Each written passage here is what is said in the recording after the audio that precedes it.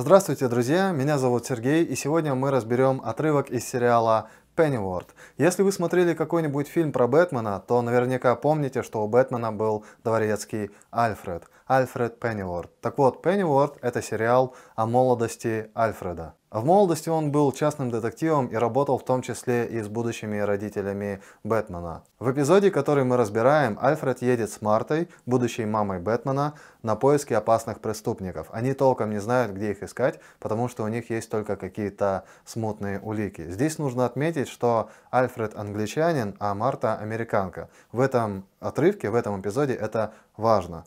Итак, Альфред и Марта едут на поезде. Вот их разговор.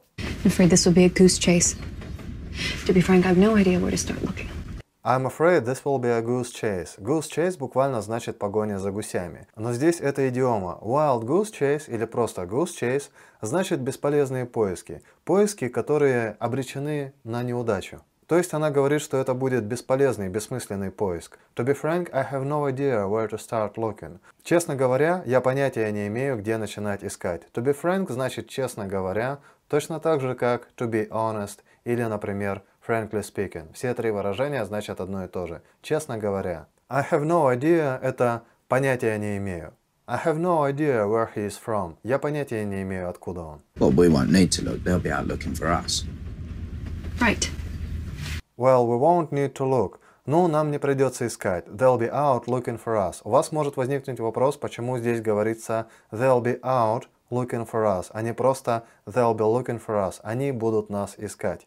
Фразовый глагол be out может значить, например, находиться не дома или не на работе, а также может значить отправиться куда-то по каким-то делам. То есть they'll be out значит они отправятся куда-то, они отправятся на наши поиски. I'm gonna be out for lunch. Я отправлюсь на обед.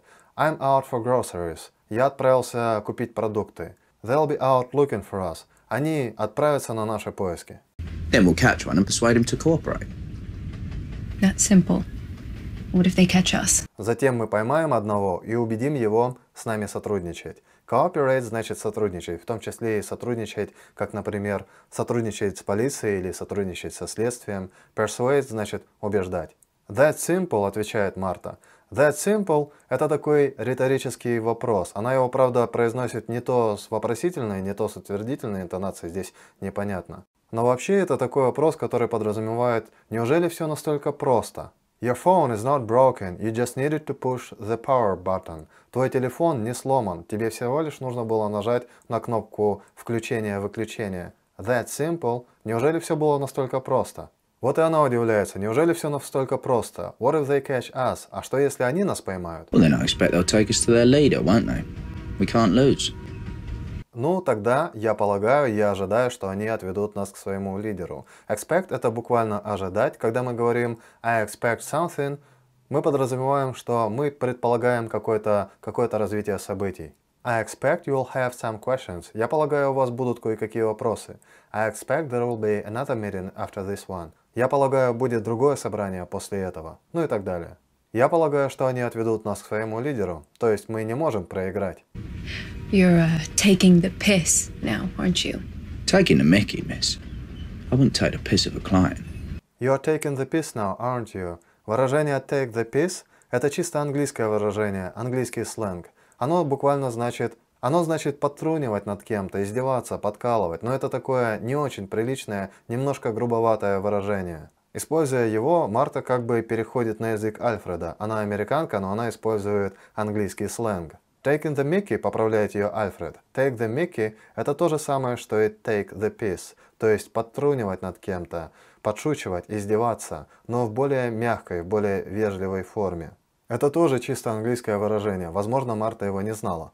I wouldn't take the piss of a client. Я бы не стал издеваться над клиентом. То есть он проводит явную границу между take the piss, как что-то такое злое, и take the mickey, как что-то такое менее злое. Ну, либо он продолжает taking the piss.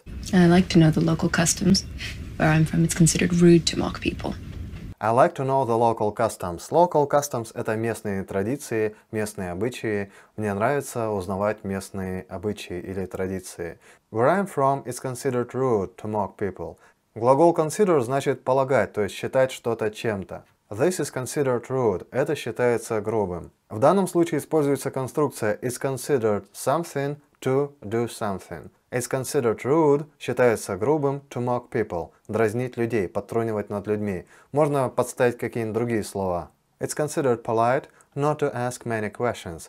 Считается вежливым не задавать слишком много вопросов. Where are you from, if you don't mind me asking? Long story. If you don't mind me asking, это такой стандартный разговорный шаблон, который нужно просто заучить вот слово в слово и также использовать. If you don't mind me asking, значит, если вы не возражаете, когда речь ведет о вопросе. То есть, если вы не возражаете против моего вопроса. How old are you, if you don't mind me asking? Если позволите, если вы не возражаете, сколько вам лет? This is us. Посмотрев в окно, Альфред сказал «This is us». Он не имел в виду, что это мы, что он увидел их с Мартой за окном. Когда едут на транспорте, подъезжают к своей остановке и говорят «This is me» или «This is us», имеют в виду «Это моя остановка» или «Это наша остановка», нам здесь выходить. Ну или если вы провожаете кого-то домой, и они говорят «Oh, this is us», они имеют в виду, что они пришли уже до своего места, они уже подошли к дому, а не то, что они встретили каких-то своих двойников на улице. Надеюсь, вам понравился этот выпуск. Если да, пожалуйста, поставьте лайк и до встречи в следующий раз.